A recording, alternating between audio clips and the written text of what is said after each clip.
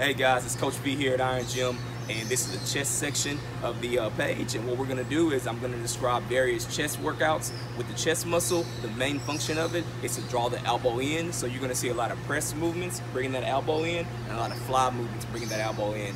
Once again, that's the primary function of the chest is to draw the elbow in. So let's get started.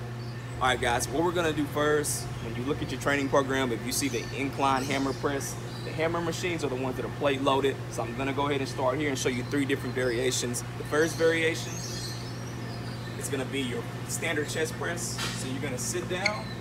It's gonna be a little too hot, too low for me, so I'm gonna bring the seat up. Bring the seat up. Make sure it's right here at shoulder level.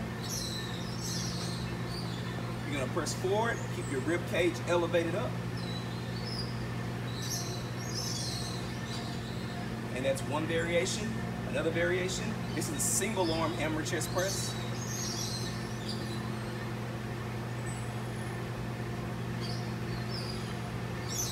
So that's your single arm hammer chest press, and then this one is your alternating.